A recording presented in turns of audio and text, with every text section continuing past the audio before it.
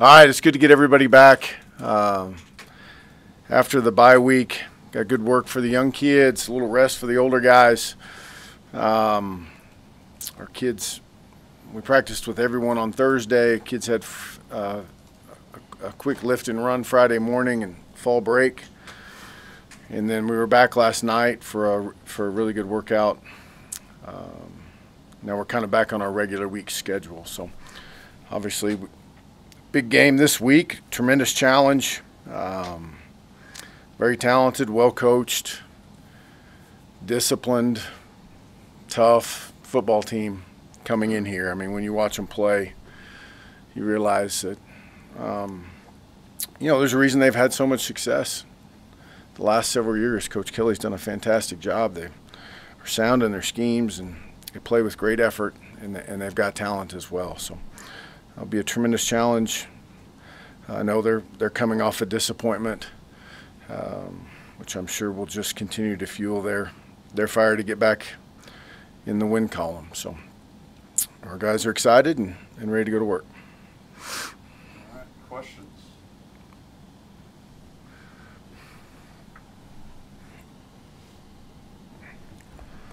Justin, any uh, big takeaways from the young guys' practices? Did, did, can somebody go into that and change your mind about whether they're going to play this year? Is that just more of a development thing this time of year? Yeah, I think it's more long-term investment. Um, sometimes that long-term ends up being short-term, though. You know, you just never know how the season's going to play out. You know, it was good to get, um, you know, some. Uh, the first guy that comes to mind is like Jalen Jones. You know, a guy who's been dealing with a little bit of an injury, an injury, but has been, um, when he's been healthy, has been working with the ones and rotating in.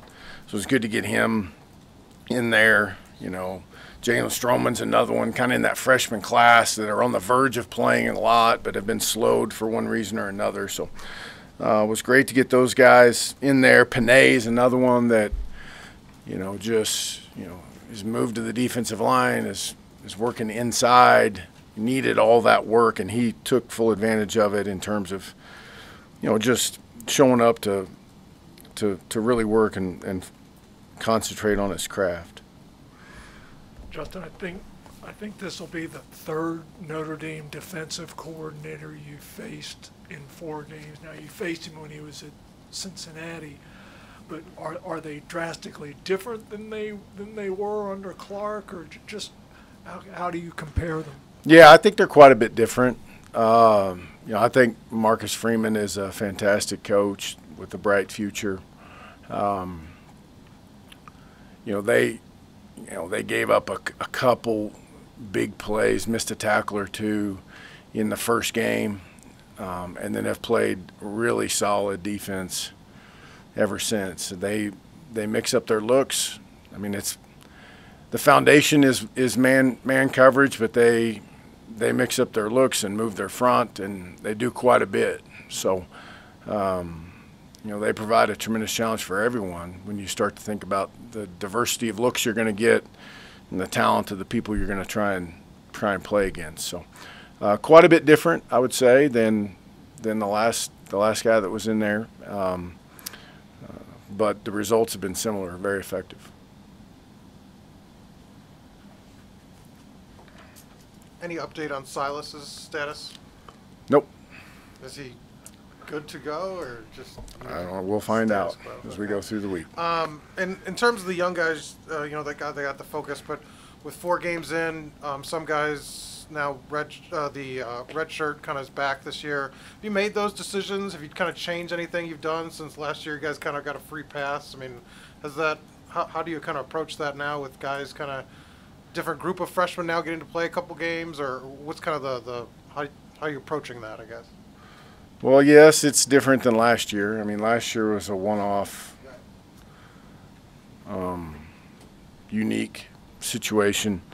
You know, we, we handle it the same way we handled it two years ago in terms of just having those discussion each discussions each and every week. There's a couple guys that, you know, we think will contribute on special teams that we know we want a red shirt that we'll try and save those games until later on when we need them specific spots due to injuries or you know the natural attrition that happens during the season. But you know, it's something we monitor closely every single week. I have a you know like like I'm sure all the coaches do have a spreadsheet with participation numbers and and who's wh- who's where and who's got a redshirt year. You got really two. You have really two classes that have redshirt years now, right? So. Um, I guess you could say there's more, more eligible, more guys that are eligible to redshirt because it's two classes in a row. Since the, since the numbers are skewed with the increased scholarships and then you got, you know, is it cha- is that aspect of it change with, with the two classes kind of having redshirts available? I mean, does anything, does does it impact anything? Like, are you more able to use guys because you have more people? I mean, is it just kind of? I don't think that's changed much. Um, you know, I think most of those guys that were freshmen last year, in their emotionally view that as a redshirt year anyway. You know, like even though they have another one, um, and I think it's good to, especially if you're participating on a normal basis. I think it's good to save that for down the road in case something happens. But um, no, it's just it's it's pretty similar. I guess essentially you're just dealing with a larger number than it was a couple years ago. Eric? Hey, Coach, just curious, have you had discussions with the team, or will you have discussions with them in terms of kind of seizing this moment, trying to trying to find momentum coming off the bye week and really setting the tone for the, the second half of the season? Certainly, I mean we have a um, an awesome opportunity here. We're gonna have a, a sold out crowd and.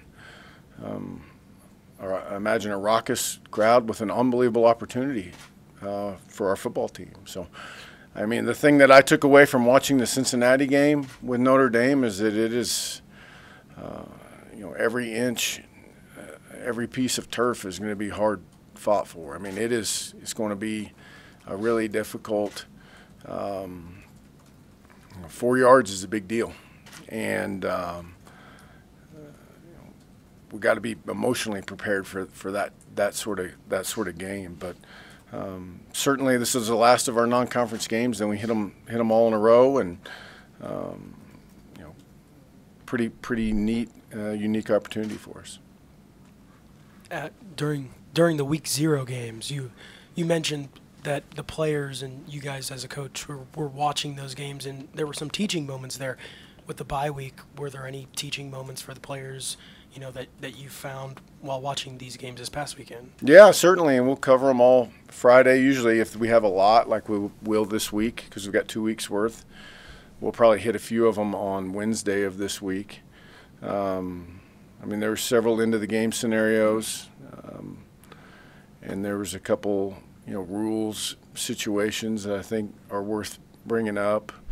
Um, I don't know. We've got about eight or ten of them just logged away that we'll watch with the team.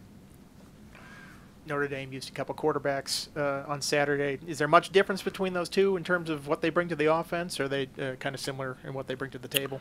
Well, I think you know this is my opinion. I don't know, you know, what they their evaluation is obviously more important in terms of what they think. But you know, 12 is obviously an athletic kid, and um, you know can can really run the ball. I see the, the offense changing the most when he's in there, if you will. 17 and 10. Um, you know, seem to be the more proficient passers that I would say the offense is similar with those two guys in there. Um, so it still adds a challenge. You've got to be ready for everything that you've seen without spending all day chasing ghosts. So you've, you've got to be prepared for whichever direction the game goes. Um, and, you know, whatever guy they choose to roll with. And uh, I felt like watch just watching the game when Pyne was in there. I thought they were going to come back and win the game. Is what I thought. Just they had a little momentum there, and they were they were making some plays offensively. But um, we'll have to be ready for all three. Got to zoom to Mike Barber.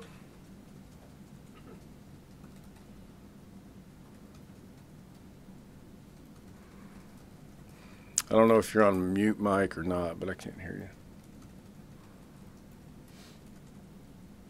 Try again, Mike.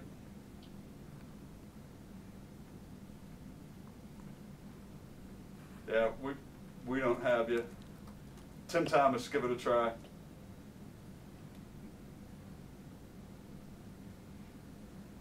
This is an awesome way to answer questions. All right, Tim, give it a shot. Yeah, Coach, can you hear me? Yes. Coach, um, I know after the Richmond game, you described your offense as inconsistent. I know you guys are ranked last in yards per play on offense in the ACC. Bye week can be an opportunity to kind of look at the big picture and reset some stuff. What areas of focus did you guys work on kind of improving that consistency and getting the offense to the place where you want it to be? Well, I mean, uh, it's running the football and executing the proper techniques to give ourselves a chance to have success. You know, in the passing game, we got to continue to find ways to get those guys the ball and be more efficient throwing the ball. Um, you know, that's that's our charge. Is we've got to find a way to tailor this thing so that our guys have the best chance to to execute and have success. All right, Mike, let's try this again. All right, do you have me now? Yep. Yep. Okay, great. Thanks, Coach. Thanks, Pete. Uh, Tyree, the running back from the Richmond area, number 25. What, what is his skill set? What challenges does he present? speed. I mean, um, first of all, getting to know Chris and his family through recruiting. I mean, just an awesome, awesome young man, awesome family. But I mean, the thing that stands out is just he's got elite speed, and uh, they really have a dynamic one-two punch with uh, Chris and and 23. 23 plays incredibly hard, and Chris is um, he's electric now. When if he's got a little crease, you know he can he can he can take a eight yard run and turn it into 80 in the in the blink of an eye. Pressing you with him as a young man. Anything specific stand out uh, um, that you'd be willing to share? Was he asking about Chris again? Oh, I don't know. I just you know I I thought both his his parents and his little siblings and and Chris were uh, a pleasure to be around. You know, a lot of fun to interact with and um, serious students and I just envisioned that their home was um, while more talented, you know, was similar to the home that I grew up in in terms of making sure they did right and um, did well in school and that sort of stuff. So, just uh, I'm obviously want Chris to do well. You know, obviously this weekend we'd like to to try and find a way to win the game, but I'm a big fan of Chris and his family. Justin, just to piggyback on that, he also presents a challenge in special teams. I forget which team he took the, the kickoff to the house against. What did what do they do schematically, or is it just again his raw speed? Well, they are very good in all phases of this of special teams. I mean, it's obvious they spend time on it. Um, uh, you know, they have length and speed helps you in special teams, um, and they've got that. With you're talking about the core players, the guys covering kicks, the guys blocking for kick returns, and um, you know they can.